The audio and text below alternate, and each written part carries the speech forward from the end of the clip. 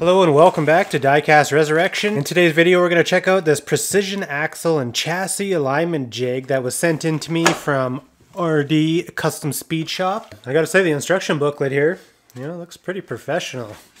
It's a smaller YouTube channel that does custom diecast that we're actually going to be doing a challenge against in the upcoming week here. We're going to be working on some 83 Chevys, I think at the end of next week sometime. He's doing the same model and the theme of the challenge is going to be build a Chevy that you've had in your past. You know, so it's going to be kind of cool. It's not really going to be a competition. It's going to be more of like a story time kind of video where we build a truck that we've had. So it should be pretty interesting. So he sent in this little jig as a kind of a bonus item for me. So check out RD Customs Speed Shop. I'll leave a link in the description. And today's video, we're going to try this thing out. I was trying to think of what was the what's going to be the best way to present this to you guys, and I thought, you know, wouldn't it be funny if I did kind of like an infomercial kind of thing? Have you ever struggled with getting axles straight? Or find it hard to have even wheel well gaps on all sides of your diecast? Fucking piece is not where. Are you tired of the struggle? Well then you need RD Customs Precision Axle and Chassis Alignment Jig. Our precision axle and chassis alignment jig keeps the chassis aligned with the wheels, a must-have for a serious diecast restorer and customizer. You know what? This is actually a really good idea. When you're doing axle tubes or if you got to modify these slots in any way, it's really easy to run into troubles. So something like this is actually a really good idea and I do think I'll be able to use this on a regular basis. So I'd like to try this out today. So to make this a fair test, I'm going to open up these, uh, these little slots where the axles go just to give them room to move around a little bit. So I'm going to try out our little jig here and just see how well this is going to work.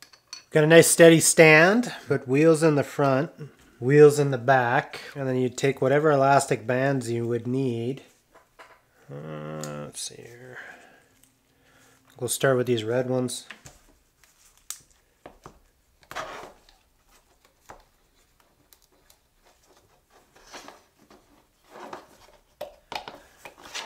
I guess it'd be something like that, you know? Once you get it in there, it's a little bit tricky to, to get those elastics on there just because they're fairly beefy, but once she's in there, I mean, everything's real solid. So now that we're locked in place here, I'm guessing I can test fit my body. It's just going to show me exactly where my wheels are going to be before I glue. So that's pretty cool. Let's see if we can get it to... Uh, I'm going to try and move some of these forward. The further back we go on the scale here, the harder it's going to pull our rear axle against the back of the slot for easy gluing. And you can see the wheel is pretty much making contact with the back of the car now. So one thing I would probably do is uh, get some thinner rubber bands. These are very high quality rubber bands, but they're also super beefy and super thick. And I don't know if we need as much tension as these are actually putting on those axles. So I toned down the rubber bands a little bit, and that seems to work a little bit better. So my smaller rubber bands are kind of filling the gap in between the wheel and the base where the other ones were kind of overlapping. So I think these smaller bands are actually going to work a little bit better. So it's pretty innovative idea, simple design, and uh, there's definitely a need for it, I would say.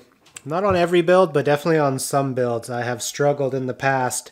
And being able to test fit with the body while it's in the jig is, uh, that's just, that's where it's at, man think put a little dabber of glue. I got some new accelerator here I wanted to try. This is aerosol free.